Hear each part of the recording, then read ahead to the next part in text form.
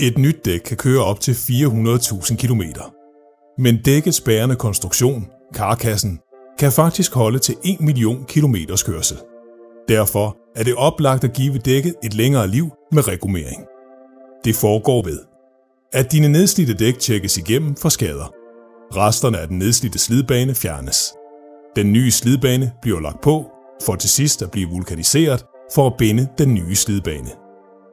Med regulering får du sund fornuft for både miljø og økonomi med 70% reduktion af råvareforbruget, 180 kg reduktion af CO2 per dæk og en besparelse på ca. 20% i forhold til indkøb af et nyt dæk. Alt det sker uden at gå på kompromis med kvalitet og sikkerhed. For regumerede dæk skal leve op til præcis samme krav som nye dæk og i henhold til EU-normer.